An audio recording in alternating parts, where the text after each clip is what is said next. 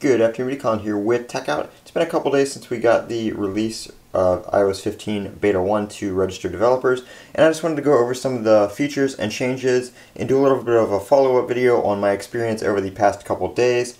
Um, if the camera decides to focus, there we go. Um, so I want to go over a couple of features that I missed.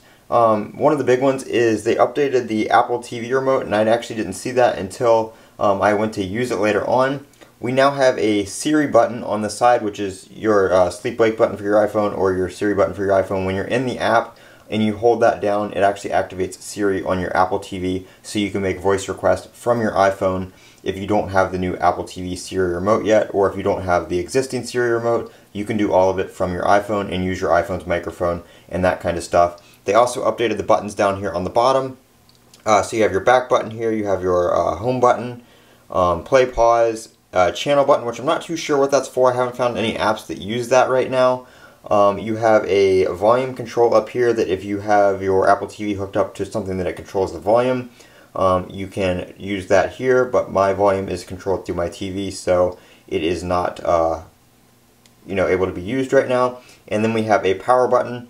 Um, so if your Apple TV controls your TV's power when it goes to sleep or wakes up, um, you can hold this button down to turn everything off in your setup or you can hit it and everything will turn on which that does work with uh, TVs that are able to be controlled by the Apple TV's power status um, which is pretty nice. Um, so that's the new Apple TV remote. Um, very very cool. Um, a lot of people are asking about the wallpaper. The wallpaper I'm using right now is the only wallpaper that we have in iOS 15 right now. Um, and I forgot to show the dark mode version of it, so there is the dark mode version of it and what that looks like. Um, hopefully we do get some more wallpapers later on. We only got one on um, iPad OS, Mac OS, and iOS. The uh, iPad OS one is the same as the iOS version. There's nothing special um, for the iPad specifically.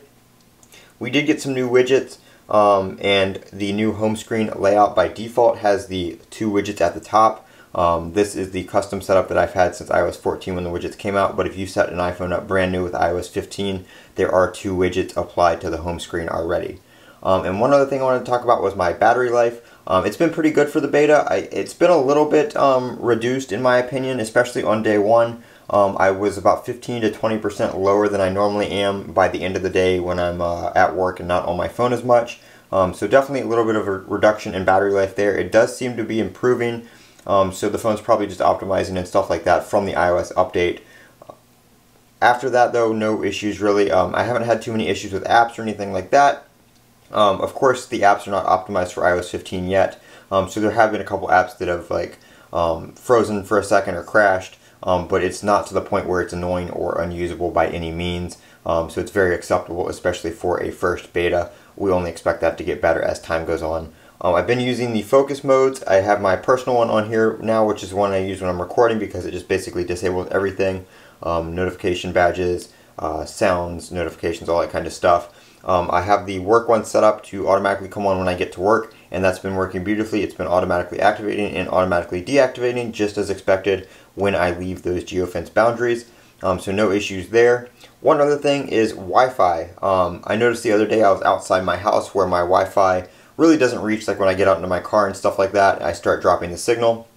Um, my phone was still connected to Wi-Fi, but it recognized that the signal was poor and the performance was poor, so it automatically switched to 5G. So if you have an iPhone 12 uh, series phone with 5G, your phone will automatically switch to 5G if it sees that your Wi-Fi performance is poor, unstable, or insecure. Um, if you're like an un unsecured network or something like that in public, it will favor 5G over Wi-Fi.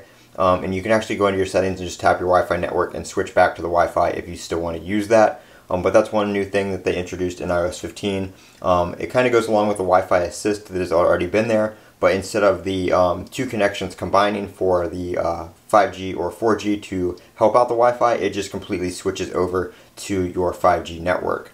Um, so otherwise, like I said, performance has been really good. Um, I haven't really had any lag or stutter or anything like that. Everything's been very smooth. Um, so iOS 15 definitely going to be a solid update. Um, not as big as we were expecting or wanting it to be, but a good update nonetheless in terms of stability and stuff like that. I'm Colin with TechOut. If you guys have any questions, leave them down in the comments section below. And as always, don't forget to comment, rate, and subscribe, and have a great day.